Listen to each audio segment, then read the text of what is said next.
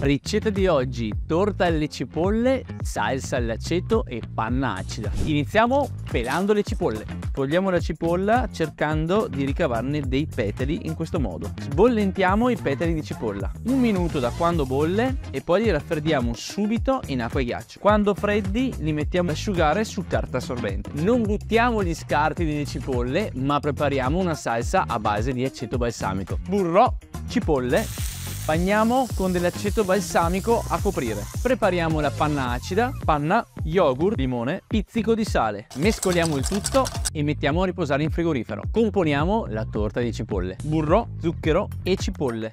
Prendiamo la sfoglia, la ritagliamo e la adagiamo sopra la cipolla. Mettiamo la torta sul fuoco e la lasciamo caramellare per una decina di minuti. Inforniamo a 190 gradi per 10 minuti. Nel frattempo che la torta cuoce, filtriamo la salsa d'aceto balsamico.